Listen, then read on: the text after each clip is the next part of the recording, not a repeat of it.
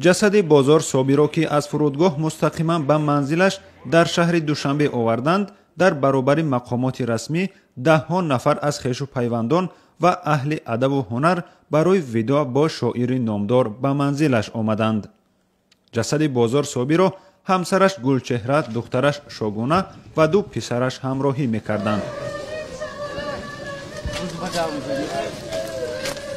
از بازار صابر شاعر غریب و وطن دوست یاد کردند. ما الان با بازار خداحافظی کردیم خیر بود کردیم. از باغ خودم از ورزاب برایش گلای وحشی گلای یابایی که دوست می داشت آوردم. گل زرد و گل گلابی. بالای رویش موندم مثل که خوابیده است آرام خوابیده است. خوب شد که به وطن برگشت.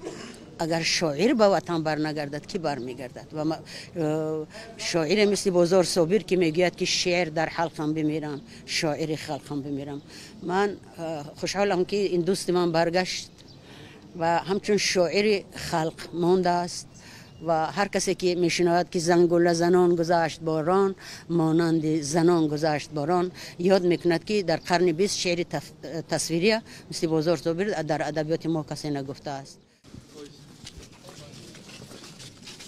Маросими расмии видо бо шоири тоҷик бозор собир соати 11 рӯзи 14 май дар масҷиди марказии шаҳри душанбе ба номи ҳоҷи яъқуб бо иштироки даҳҳо нафар баргузор шуд. Дар маросими видо танҳо низом қосим раиси иттифоқи нависандагони тоҷикистон суханронӣ намуд. Маҳбуби садҳо ҳазорон хонандагони хушзавқ шудааст.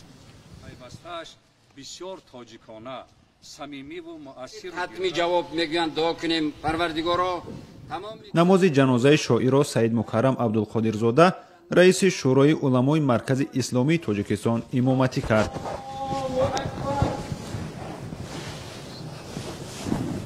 Ҷасади бозор собиро дар оромгоҳи лучоб ба хок супурданд. Новобаста ба бориши борон дар маросими хоксупорӣ намояндагони ҳукумати кишвар ва даҳҳо тан аз аҳли илму адаб و هواداران شایر جمع آمدند. بازار سابیر روز یکمی می در هفتاد سالگی در یکی از بیمارستانهای شهر سیتل امریکا درگذشت و جسدش را مقامات توجک بعد دو هفته به توجکستان آوردند. شادمانیتیم ملا رجب یوسفی آزادی دوشنبه.